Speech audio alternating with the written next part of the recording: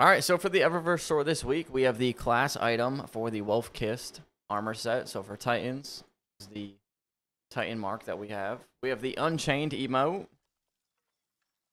For some reason, still no Halloween events. We do not have those cosmetics yet, unfortunately. We have the Vex Incursion entrance. It's kind of weird they're doing a Halloween event at the end of October, but why not? We have the Dyed Finality shader, as well as the Argent shader. And for other Bright Dust offerings, we have the Bright Cake. Did I say Bright Cake? Oh my lord, the birthday cake. It was actually my birthday a couple days ago, so to wish me a happy birthday, feel free. We have the Jaunty Dance. We have the Go Show here. We have the weird looking chopper ship, which, I mean, hey, might be one of the cooler ships in the game. We have the Red Veteran Sparrow.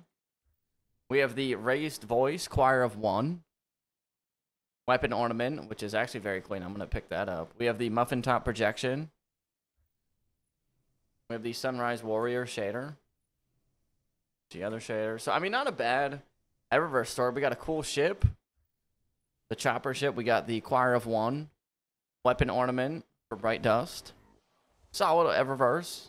Still no Halloween event, unfortunately, but we will have that next week, as well as all the Halloween Eververse items like that um, themed armor set that will be coming out. That's it for the video. We'll see you in the next one. Up